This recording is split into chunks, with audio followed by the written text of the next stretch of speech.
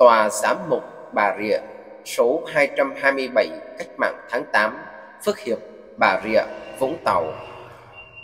Bà Rịa ngày 3 tháng 3 năm 2024 Kính gửi quý cha, quý tu sĩ nam nữ, các chủng sinh và anh chị em tín hữu giáo phận Bà Rịa.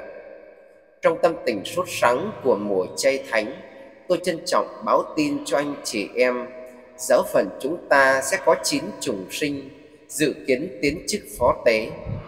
Một, thầy du xe Nguyễn Văn Trinh, 35 tuổi, đang phục vụ tại giáo xứ Vinh Châu, giáo hạt Bình Giã. Hai, thầy Tito Huỳnh Tấn Đạt, 33 tuổi, đang phục vụ tại giáo xứ Vũng Tàu, giáo hạt Vũng Tàu. Ba, thầy du xe Nguyễn Phạm Minh Hiền, 35 tuổi, đang phục vụ tại giáo xứ Hải An, giáo hạt Vũng Tàu.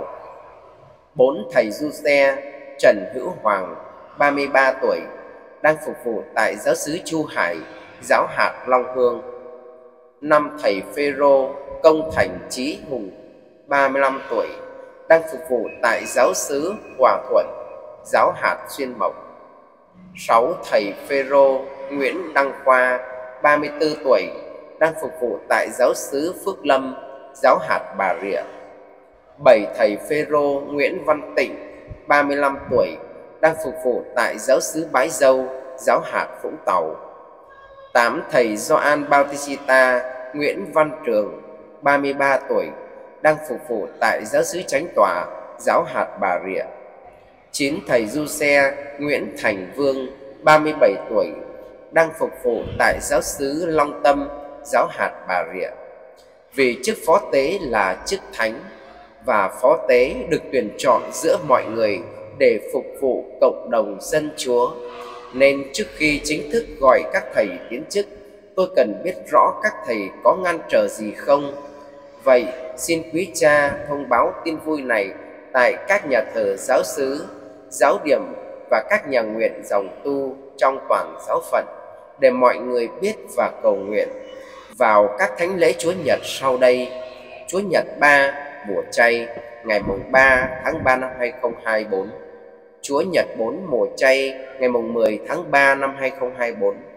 Chúa Nhật 5 mùa chay ngày 17 tháng 3 năm 2024. Ai thấy có vấn đề gì liên quan đến việc tiến chức của các thầy, xin hãy báo cho tôi biết bằng thư gián kín hoặc trực tiếp gặp tôi tại tòa giám mục Bà Rịa. Thời hạn chót là ngày 18 tháng 3 năm 2024.